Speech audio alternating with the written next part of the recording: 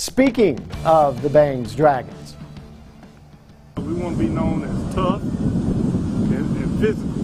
Would y'all agree with that? Yes, sir. We're not always the shiniest, you know. We're not all necessarily the show dogs out there. Bangs is in a big time rebuilding phase. Head coach Kyle Maxfield lost 14 lettermen, and the Dragons are looking for new starters in 15 positions. All that means Bangs needs new leaders to step up and take the reins. It's a new position for all of the players, but they say they're ready to lead their team to the playoffs for the third straight year. It's different this year because uh, I've been so used to be, you know, looking up to the seniors and stuff like that, and we've been together since we were in fourth grade TYFO. So there's a lot of new faces. We got to teach and help coach a lot of the newer kids. So it's it's a little different. It's a bit of a challenge, but I'm up for it.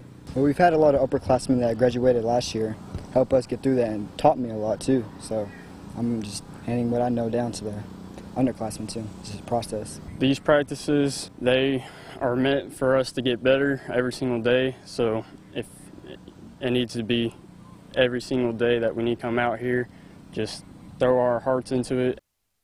The Dragons are expected to return to the playoffs by Texas Football Magazine. That would make three straight appearances in the postseason.